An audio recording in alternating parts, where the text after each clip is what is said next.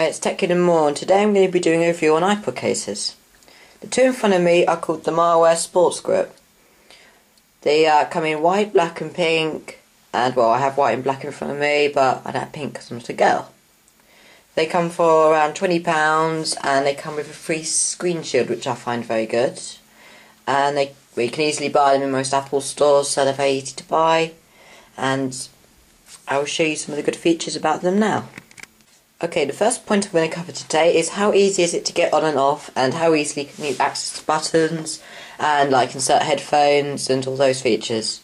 First of all, it's pretty really very easy to get on, so you won't have to worry about getting it on and off. It comes off in about 5-10 seconds, it's that easy. Uh, headset's pretty easy to get on. There's a hole right there and you just insert your headphones there, so it's like not really hard, you have to lift up all the flaps which some of them do do that. But a downside of it would be, is when you want to connect it to the computer, it gets a little more tricky because, well, it's not the most easy of designs.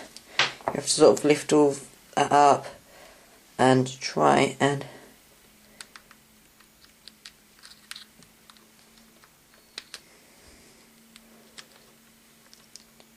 get it in. So, well, that's probably be a downside that it doesn't connect, well, it's quite hard to connect to the computer, and also it's not the easiest to connect to iPod docks. As you can see, it's really actually quite hard to basically have to go like that.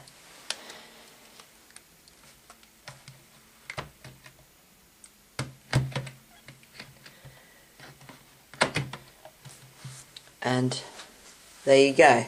So that, well, some of the downsides, well, that's probably one of the downsides. Another downside would not be for the white one, but more for the black one.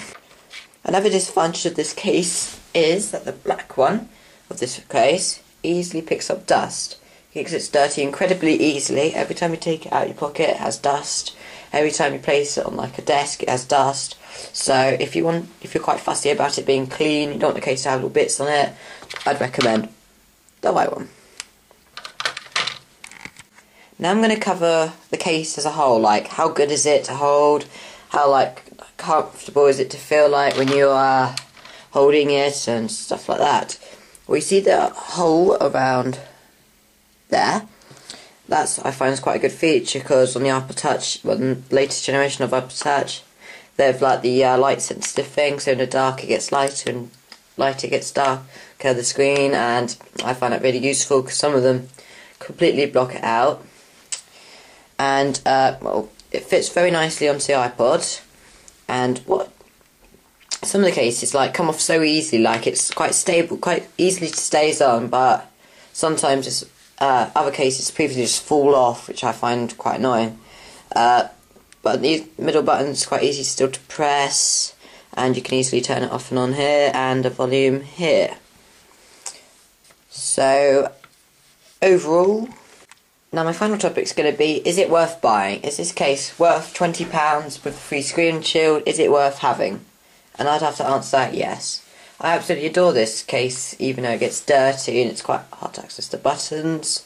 Uh, well, due to its texture, it's very soft, very thin, which I quite like, and uh, you can easily access all the buttons. So, overall, I love this case, and remember to comment, rate, and also subscribe so you can see future videos as this is my first one.